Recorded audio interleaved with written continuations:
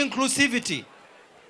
Sisi hakuna mtu katika nchi yetu ya Kenya anatuma postcard anasema nataka nizaliwe Mkamba, Mmasai, Mgiriama, Mjaluo, Mkikuyu na wengine. Unazaliwa mahali ulipo. Sisi ni nchi moja. Hakuna mtu anapo, anapopata ajali akifika kwa hospitali wakati amekimbishwa thieta ku, kupasuliwa au kolewa, anasema ngoja ngoja, wewe daktari ni kabila gani? Wewe ni kabila gani? Ama mtu akienda mahali anauliza wewe mwalimu ni kabila gani? Lakini tukiingia katika ukumbi wa siasa kuna ukabila kabisa. Lazima tumalize hii kasumba ya ukabila. Sisi vijana hatuna ukabila kama wale wengine. Mimi nikimwona kijana mwingine hapa naona ni mnyonge kama mimi, sioni ukabila. Nataka sisi sote tuwe na pesa, tukuwe na inclusivity na serikali ambayo tuko ndani sisi wote. Kile kitu ambacho kinafanya tukuwe na BBI ni kwa sababu sisi ni maskini. Hausikii kule Uingereza, Ufaransa, nchi za ng'ambo wakisema wanataka kuwa na building bridges kwa sababu wana pesa. Sisi tuna upungufu wa pesa, and as long as we remain poor we'll always have divisions and problems. Kwa hivyo BBI must address the problem of a poor economy where you find matajiri wanaendelea kuwa matajiri, maskini wanaendelea kuwa maskini. We must bridge this gap and create wealth.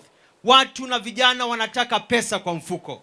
Hata hapa maa nimekutana na vijana wengine asubuhi wakaniambia ya kwamba hata kuoa imekuwa ngumu, kwa sababu ukimwongelesha msichana unamwambia kaanyo anakwambia maanyo. Hataki stori zako kwa sababu hauna pesa kwa mfuko. So BBI must cure issues of money. Shida ingine kubwa ambayo BBI itakiwa ni bureaucracy. Mnauliza kwa nini hakuna kazi? Hakuna kazi kwa sababu kufanya kazi Kenya ni ngumu. We are full of bureaucracy. Kenya ukilete mtu kutoka ng'ambo a set up factory hapa Narok ndio mpate kazi, bureaucracy of setting up, kufanya tu documentation peke yake hapa Kenya will take that person a minimum of 6 months to 18 months.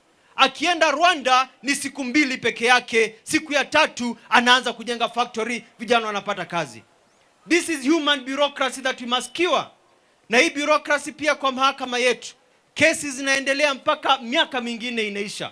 Tunataka watu wakija wajua kwamba kesi ikianza inaisha mwezi sita, kama ni kesi ya biashara ama kesi ya ufisadi. Kama mtu ameshtakiwa within six months, kama anakosa anarudi nyumbani, kama anakosa anafungwa chap chap, hiyo inaisha, kwa sababu tunataka maendeleo. Na mwisho kumalizia ni kusema sisi watu wa maendeleo chap chap, we want fairness. Tunataka kijana, sio lazima umjue mtu ndio upate kazi, sio lazima umjue mtu ndio upate haki yako. We want a country where every child gets their justice as it is and we hope that is in BBI. Nawaalika mkuje Machakos kwa sababu tufanye maendeleo chap chap, ndio kila mtu aendelee vizuri.